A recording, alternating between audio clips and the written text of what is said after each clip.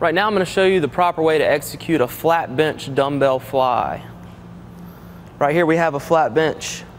Some dumbbells. Take a seat on the bench. This exercise you're going to be working primarily your chest muscles, your shoulders, and your triceps. Lay flat back on the bench, bringing the weights up to your chest and pressing overhead. Keeping your palms facing in, weights directly up over the middle of your chest. Slightly bend your elbows. Drop your arms out to the side until they're parallel with the floor. Return back to the center just like you're hugging a tree. Inhale on the way down.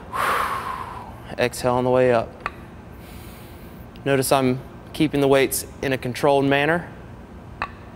Not too fast, not too slow.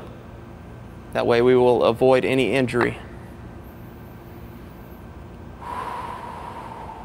Return to the starting position, bringing the weights in close as you sit up.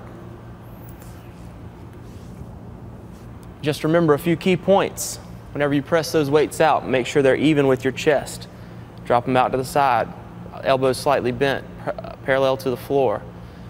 That's how you do a flat bench dumbbell fly.